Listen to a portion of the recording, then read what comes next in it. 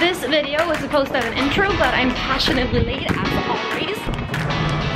So that was a stressful morning. Now I'm inside and I'm gonna do my lips. I'm gonna do some Botox and then something called Plexer, I think. With the Plexer, I will remove some beauty spots that have bothered me for years. So the big one on my chin and the devil itself on top of my upper lip. This piece of beep makes all lips I put on uneven. So today you'll die. Bye! I've cleansed my skin from makeup and we're putting on some anesthesia cream and this will sit for 20 minutes. This is me, I'm so royal, and you all wanna be round. Yeah, you all wanna be round. Round a champion, a champion. I got tons of soul on my true collectible. Famous, so famous, number one desirable. I do what I want when I want and how I want it. Now I know some will say that I don't need it and I don't and that's why I'm doing it. To prevent the wrinkles from showing up, it's a lot easier to prevent wrinkles from appearing than to try to fix them when the damage is done. Next up is lippy time. The Botox doesn't hurt that much, but this one, this one's a bitch. It hurts. Botox I've done once before, but lip fillers I think I've done it six or seven times. I like my lips a little bit fuller. It makes it a lot more fun for me to wear lipsticks, but that's just me. A few years ago when I started, you couldn't even see my upper lip in front face shots. It was pointing downwards, so what I've basically done is lifting it up. And I can't stress this enough, I'm doing this for me. Don't ever change anything about yourself for someone else. Everything you do, you do for you. Also remember that you should be over 18 and go to a clinic that you can trust. I do all of my beauty treatments at the same clinic. And as you may or may not know, I also do fractional laser at this clinic and it keeps my pores airbrushed away. I will put a link in the description if you're interested in any of these treatments and want to go where I go. My lips will be really swollen when we finish, but they will go down tomorrow, hopefully. Plexer is totally new to me. I was so excited when I heard about it because I'd hated these beauty spots for so long. Since they're kind of sticking out, they show through the makeup even if the color is covered. I don't care about my other beauty spots that are not sticking out, but these, they gotta go. Smells like fireworks. The plexer burns away the skin as you can see. I don't know how to explain the feeling. It feels strange, it hurts a little bit, but not as much as I thought. The lips still hurt worse.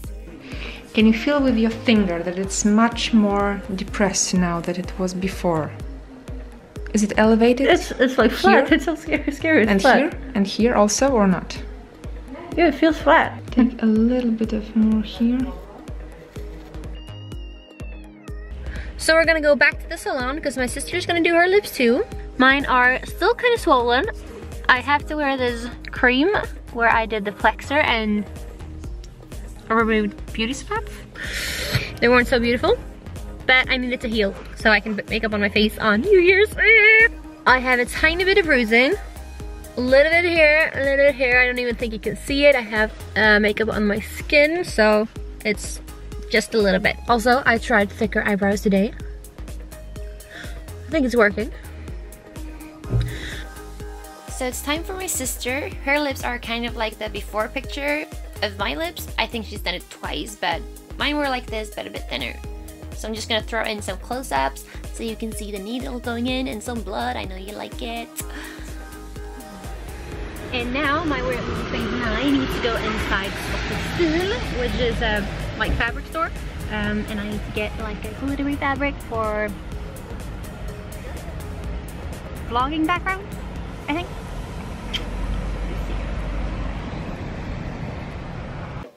I love these crushed velvet fabrics. They are so good at catching the light and uh, they're also very cheap.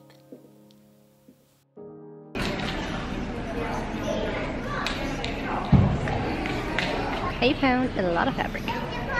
Finally home and I got all my fabric. This is kind of a, I don't know what this color is called, but it's shiny and it's a turquoise glitter. Ooh, ooh.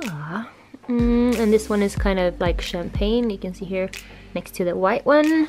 I got the silver gray, light blue, and uh, it's a pink-ish. Very nice. Now I'm just gonna hang them up. This is my vlog space. I already have this fabric from before, so I'm just gonna hang all of the fabrics on top of each other and use pins to make them stay in place. I pinned every single one of them down like this, whoop, underneath.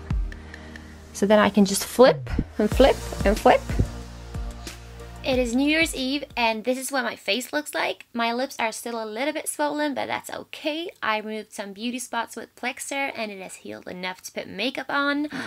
Let's do this. Them legs needs to be shaved and silky smooth. Mm -mm -mm. Moisturized. Uh, I'm prepping my hair with some dry shampoo and since I'm going to wear a lot of glitter accessories, I am going with a simple look, so it's to be dark eyes and nude lips. Also, I'm very pressed for time and super late. And we're back at having skin white as snow, squeezing some water into my beauty blender and just dabbing more paleness onto my skin. Don't forget your ears, it's a freaking mistake showing up with a yellow face and red ears. Trying to bring face shapes back into my face with some contouring. Some might think I'm putting on a lot of makeup, but since I am headed for the club later, cake face won't be a problem.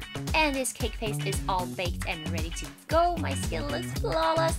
Since I baked myself back to pale again, we need to go in with some bronzer, so I'm just bronzing away, bringing back life.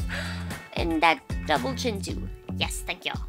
This is my favorite blush palette from NYX, can't go without blush and the Strobe of Genius highlighter palette. As I said, it's club lighting and I need my cheekbones to be striking AF. Threw on a Lip Lingerie matte lipstick and a pair of DuffLashes and a lot of mascara.